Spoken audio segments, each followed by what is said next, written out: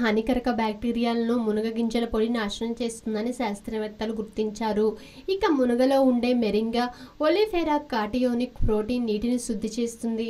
మునగగింజల పొడిని నీటిలో కలిపితే నీటిలోని ఘన పదార్థాలతో పాటు అడుగు భాగానికి చేరిపోతుంది.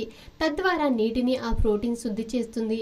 దాదాపు తొంభై నుండి తొంభై తొమ్మిది శాతం వరకు బ్యాక్టీరియా అంతు చూస్తుంది.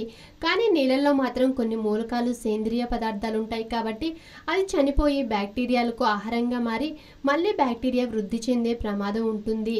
కాబట్టి ఎంఓసిపివిని ఇసుకతో కలిపి నీటిని శుద్ధి చేస్తే ఆ సేంద్రియ పదార్థాన్ని సులభంగా తీసేయచ్చు అంటున్నారు పరిశోధకులు. కాగా మునగ విత్తనాలు పొడిని కుండల లోపల దాచేవాళ్ళు. అయితే అన్ని కాలాల్లో లభించే మునగకాయల గింజలు అందుకు అనువుగా ఉండవట. వర్షాకాలంలో కాసిన మునగకాయల్లో గింజలైతేనే సమర్థవంతంగా పనిచేస్తాయని పరిశోధకులు చెప్తున్నారు. వానాకాలపు గింజలను సేకరించి వాటిని పొడి చేసి ఏ కాలంలో కాలంలోనైనా ఉపయోగించుకోవచ్చు అని చెప్తున్నారు. అంతేకాక మునగ గింజలే కాదు మునగ ఆకుకు క్రిములను చంపే శక్తి ఉందని చెప్తున్నారు.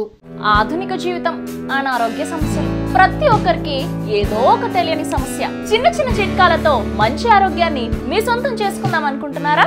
ఇంకెందుకు ఆలస్యం? వెంటనే మా యోయో హెల్త్ ఛానల్ని సబ్స్క్రైబ్ చేసుకోండి.